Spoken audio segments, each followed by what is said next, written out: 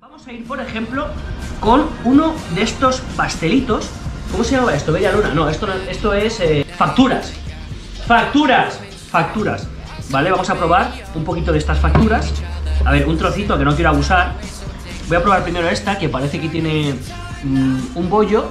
Y parece que lo de dentro es como una yema de huevo. No lo sé, ¿vale? A ver. Mmm, crema pastelera. Mmm, qué rico. Riquísimo esto, ¿eh? Me estoy dando cuenta, Gaby, que aquí comen mucho azúcar. Pero mucho azúcar, ¿eh? Segunda factura, esta de aquí, se me acaba de romper, ¿vale? Esto iría aquí. Vamos a ver a qué sabe esto, que parece chocolate, a ver. Mmm. Es una pasta. Esto es una pasta con azúcar por fuera, chocolate. Nunca he probado algo así, ¿eh? Está muy rico, ¿eh? Le doy un 7 de 10. A este primero le doy un 8 de 10. Qué rico esto. Y ahora cortamos un trozo de este, que parece que es una media luna esta factura. Si me equivoco me lo decís, ¿vale? Le corto este trozo y vamos a ver cómo está. Sé que no soy muy sexy cuando como, pido perdón. Vale, esto es como...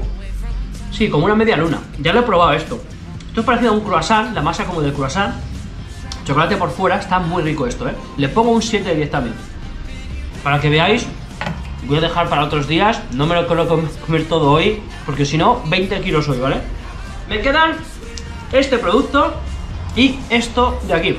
Esta marca de crema de leche, bastante conocida en teoría. Y criollitas que voy a untar en el dulce de leche. Bueno, huele a, no sé, amor, huele a, a la Copa de Europa número 14 del Real Madrid, no sé cómo explicarlo, no sé. Huele a algo increíble. Lo extendemos en las criollitas Dagley, aquí lo tenemos, y... Mmm, lo mejor. Obviamente. Mm. Eh, le pongo, para ser, mira, voy a ser malo, le voy a poner un 9 de 10.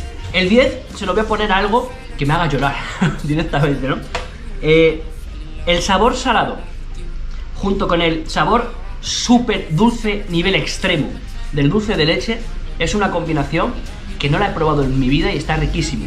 Estas galletitas, eh, por cierto, pesan muy poco, entonces como que son o sirven para dar un toque salado a esto.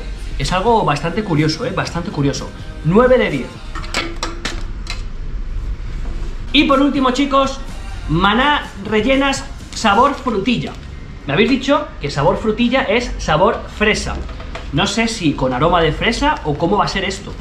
Ah, mira, qué curioso, qué curioso.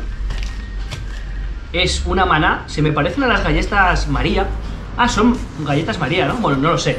Es esta galleta, ¿vale? Veis que por dentro tiene una cosa de color rosa que supongo que es la frutilla y vamos a probarla.